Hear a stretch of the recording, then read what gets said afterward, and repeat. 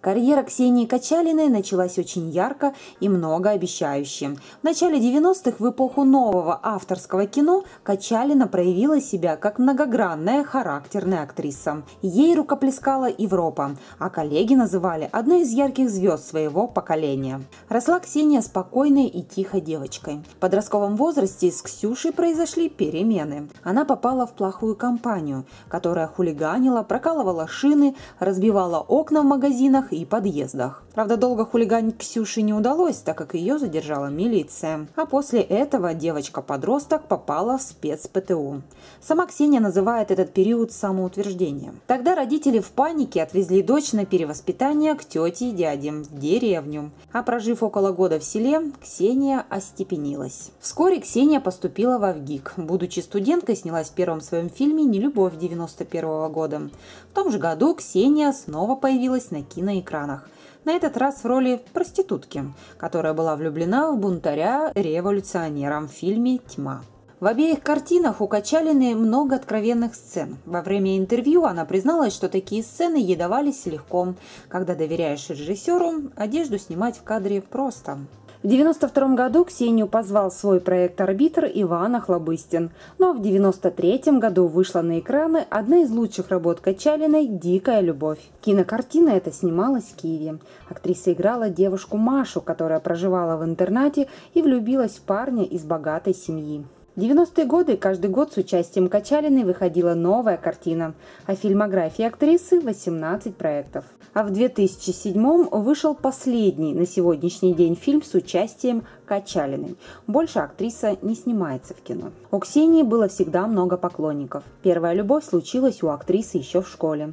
Но по-настоящему сильно она влюбилась лишь в институте. Однако те отношения нельзя было назвать крепкими, так как Ксению с молодым человеком через пару лет после знакомства разлучила работа. Ее актриса не смогла отодвинуть на второй план. А во время съемок «Арбитр» у нее закрутился роман с Иваном Охлобыстиным.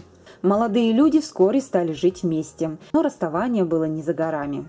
Иван увлекся своей будущей женой Оксаной Арбузовой, которая, кстати, была однокурсницей Ксении. Скоро и сама Качалина выскочила замуж за музыканта. Правда, брак распался через пять лет. Ксения ушла от мужа уже беременной, а затем и новый удар. Новорожденная малышка не прожила и трех дней. Тогда актриса уже была знакома с Михаилом Ефремовым, с которым ее свела судьба на съемочной площадке фильма «Романовы». Ксения стала четвертой женой Ефремова, подарив ему в 2000 году дочку. Правда, брак артистов распался после четырех лет семейной жизни. А сразу после развода Качалина забрала дочь и уехала в Гуам, где жила долгое время, наездами бывая в Москве. На новом месте Ксения пыталась устроить личную жизнь, у нее даже появился бойфренд.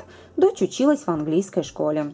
А когда доходы от аренды квартиры стали падать, она решила вернуться обратно в Россию. Однако на родине Ксения не встретила того понимания, на которое рассчитывала. К тому же режиссеры не торопились приглашать актрису в новые проекты.